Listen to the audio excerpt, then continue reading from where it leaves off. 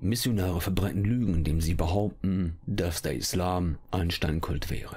Aber der schwarze Stein in der Kaaba ist ein himmlisches Geschenk Gottes an die Menschen.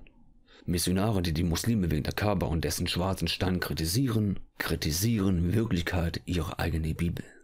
Was sagt die Bibel zu Steinen? Sind Steine laut Bibel heilig? Und ist der schwarze Stein der Kaaba laut Bibel ein Symbol des Götzendienstes? Bevor wir anfangen, solltet ihr das Video namens Die Geschichte der Kaaba unbedingt anschauen. Das Video über die Geschichte der Kaaba ist eine Voraussetzung, um diese Botschaft zu verstehen. Den Link zu diesem Video findet ihr in der Beschreibung.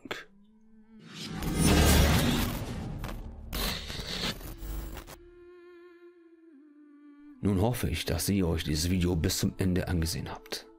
Jetzt sollte jeder wissen, dass die Kaaba nur eine Gebietsrichtung dient und der schwarze Stein ein Symbol der Vollendung des Hauses Gottes ist. Selbst wenn die Kaaba und der schwarze Stein nicht mehr existieren würden, so müssen die Muslime dennoch in dieser Richtung beten. Die Anbetung der Steine ist so eine große Sünde im Islam, so dass diese Steine, die angebetet wurden, der Brennstoff der Hölle sein wird. So ersucht Schutz vor dem Feuer, dessen Brennstoff Menschen und Steine, die angebetet worden sind. Aber jetzt kehren wir zurück zum Thema. Roger Libby sagte, Steine sprechen von Gottes Herrlichkeit. Gott hat Steine erschaffen, dass wir besser wissen, wie Gottes Herrlichkeit ist. Laut Bibel sind Steine so heilig, so dass Gott sich selbst als ein Stein zu Johannes offenbarte. In einer Offenbarung fühlten Engel den Johannes im Paradies und er sah Gott auf dem Thron sitzen und er schildert uns, wie sein Gott aussah. Danach schaute ich und siehe, eine Tür war geöffnet im Himmel und ich sah einen Thronstand im Himmel, und auf dem Thron saß einer.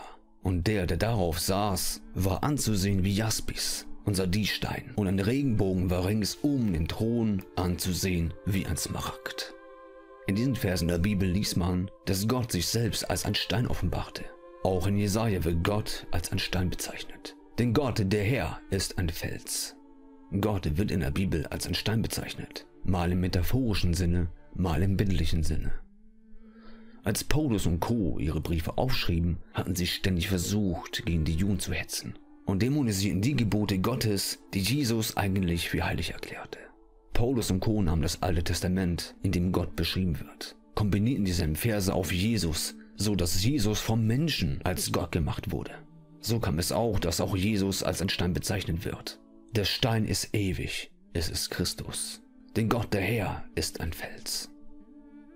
In antiken griechischen Tempeln befand sich oft ein heiliger Stein namens Ompalos Teges, der Nabel der Welt, der als Ort der Schöpfung angesehen wurde. Ähnliche Traditionen wurden von den Juden über den Felsen der Gründung im Tempel bewahrt, der sich heute im muslimischen Felsendom befindet. Viele Christen glauben, dass sich das Zentrum des Universums in der Grabskirche in Jerusalem in der Nähe des heiligen Felsens von Golgatha befindet. In Jesaja lesen wir, Deshalb sagt der Herr Gott, Siehe, ich bin derjenige, der in Zion einen Grundstein gelegt hat. Einen Stein, einen geprüften Stein, einen kostbaren Eckstein eines sicheren Fundaments. Wer glaubt, wird nicht in alle sein. Steine sind in der Bibel so heilig, so dass Gott höchstpersönlich sie als kostbar bezeichnet hatte und wer daran glaubt, wird errettet sein. Die Bibel enthält auch zahlreiche Beispiele für die Verwendung heiliger Steine. Im Hebräischen wird ein erhabener, freistehender heiliger Stein als Marschallbord bezeichnet, was oft als Säule übersetzt wird. Mose errichtete zwölf Steine als Zeichen der Annahme des Bundes Jahwes durch die zwölf israelischen Stämme. Josua befiehlt nach der Überquerung des Jordan nach Palästina die Errichtung von zwölf Steinen aus dem Jordan als Denkmal. Diese Steine wurden verwendet, um das Gebiet, um das Gebiet um das Heiligtum von Galgal anzuschließen, denn auf Hebräisch bedeutet Galgal Steinkreis. Laut Bibel wird Gott seinen Thron durch ein neues Jerusalem, das er erschaffen wird, auf die Erde setzen. Eines der Markenzeichen der neuen Stadt wird ihre Mauer sein, die zwölf Edelsteine enthält, die für ihre Fundamente verwendet werden. Wir lesen aus der Offenbarung. Wer ein Ohr hatte, der höre, was der Geist der Gemeinden sagt. Demjenigen, der siegt, werde ihm einen weißen Stein geben, mit einem neuen Namen auf den Stein, den niemand kennt, außer dem, der ihn erhält. Auch hier sehen wir, dass ein weißer Stein als heilig angesehen wird. Laut Islam und Christentum können Steine sprechen. Jesus sagte, ich sage ihnen, würden genau die Steine schreien. Der Herr sprach zu Mose, schneide dir zwei Steintafeln und ich werde die Worte auf die ersten Tafel schreiben.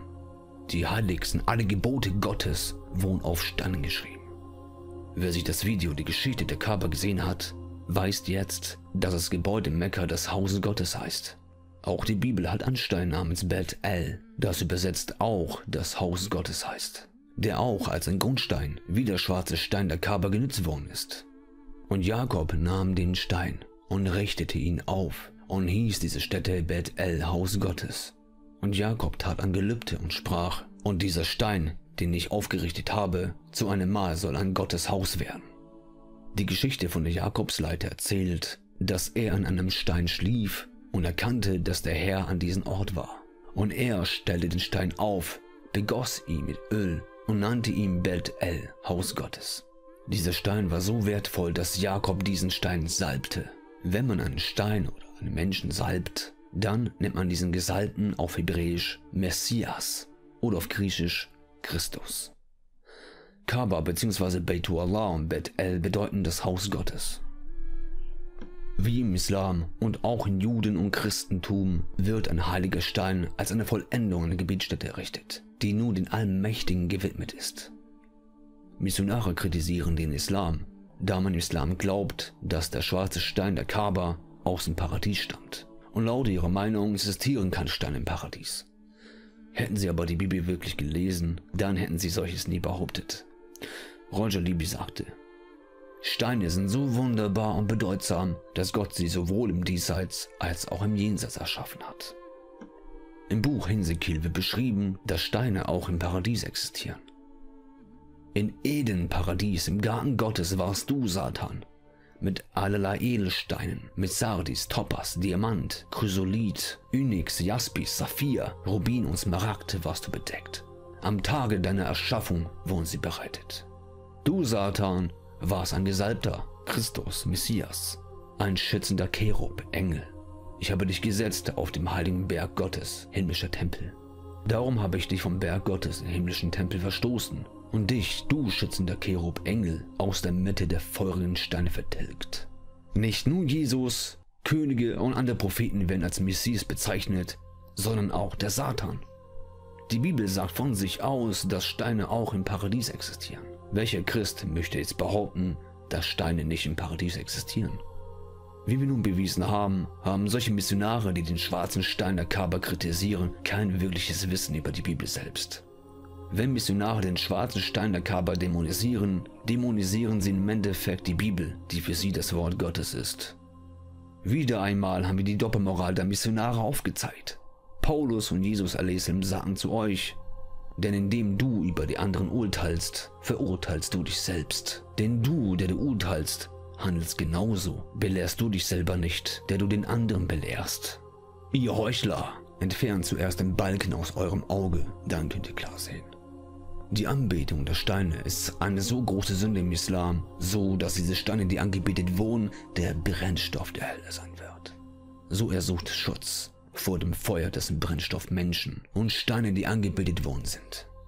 Wahrlich ihr und die Steine, was ihr statt Gott angebetet seid, Brennstoff der Hölle. Dahin werdet ihr kommen müssen. Wären diese Götzen Steine Götter gewesen, wären sie nicht dorthin gekommen, doch sie müssen alle auf ewig darin bleiben. Alle Quellen findet ihr in der Beschreibung und im Kommentar angepinnt. Möge Subhanahu wa ta'ala solche Heuchler recht leiten. Amin. Assalamu alaikum wa rahmatullahi wa barakatuh.